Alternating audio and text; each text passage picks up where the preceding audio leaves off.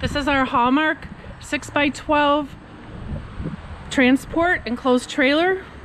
All steel frame, white aluminum, aluminum exterior, 24 inch diamond plate stone guard, a 2 inch ball hitch.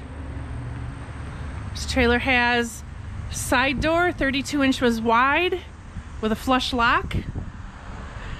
It has Dexter tandem axles, aluminum fenders, 15 inch radial tires. It comes with rear double barn doors. The floor is made of three quarter inch PlexCore treated wood. The walls are made of 3 eighths inch PlexCore treated wood. Single aluminum roof. This is a V-nose, so there's extra storage room up front. And there are rope rings on each side for securing whatever you're hauling.